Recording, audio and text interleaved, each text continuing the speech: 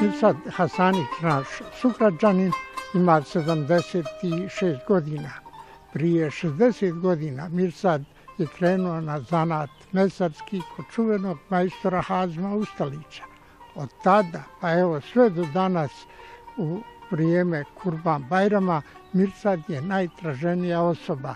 Svi žele da im Kurban prinese Mirsad Hasanić.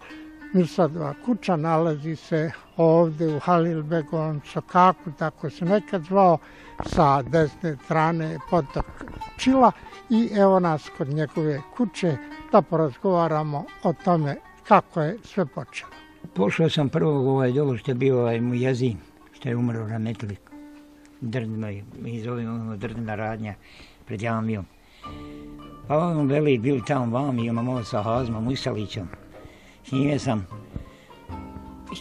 tako da sam počeo malo pomalo i naveliko sam onda krenio. Onda sam privezao dijete, bilo sa mnom, pomogne mi.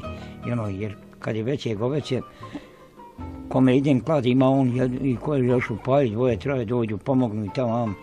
Imamo štrikove i vežem, nikad nisam htio onako što se nije propisao. Je kibli da okreneš, da oboriš, svežeš. I bravće je lijepo, bravće je janje ovca, znaš. I, I, njega je lijepo po tabijatu svezat formalno i priklat kibli. Kibli da se okrene. Bismilotnom i sve uradiš. I tako. A nisam ovaj, imao kad sjeći. Ko ti si sad četiri, četvero nas upaju kravi, petero, ja podijelim prilično, ukidu ra, razliku kako testeru i sjećem komade i oni sebi tako svoje nosi. Ako je muha nosi odmah da sklanja da ne bi muha uplivala. Jer šta djelut onda kasnije. Sam donuo. Taj lijepi jadet se upražnjavao ne samo ovdje. Nema gdje nisam išao. Nema gdje nisam. Nema do Sarajeva u sam išao gore. Dođu po mene kolima Mercedes, samo hajdi gotovo. Šta hoćeš, podnali mi Boga, molaj me kune. Ali džaba. Eto, vrijeme se dovede tako pomalo. Sad sam prekinuo ima dvije godine. Kako sam bio u Tuzli, išao na pročišćavanje.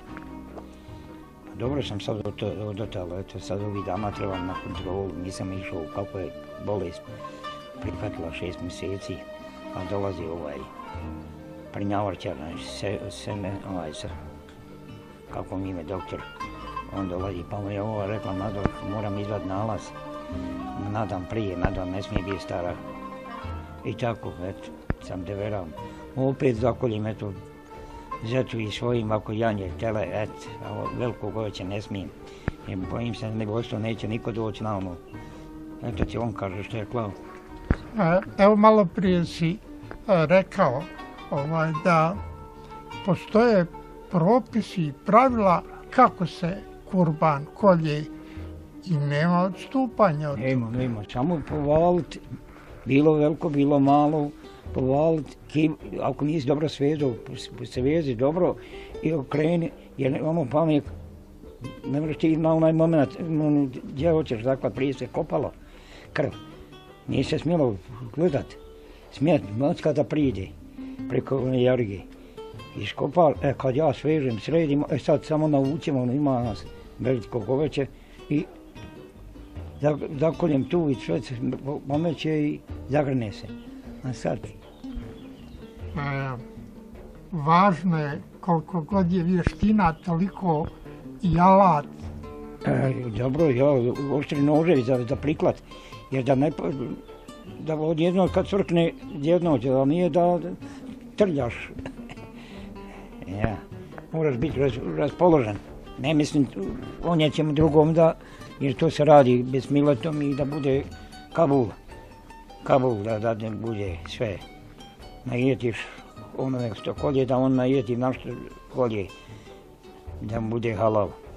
Pa eto, želimo ti ugodne dane Kurban Bajrama, provedi ga fino sa svojim. Hvala živli, ovdje i vama da budete zdravi živi.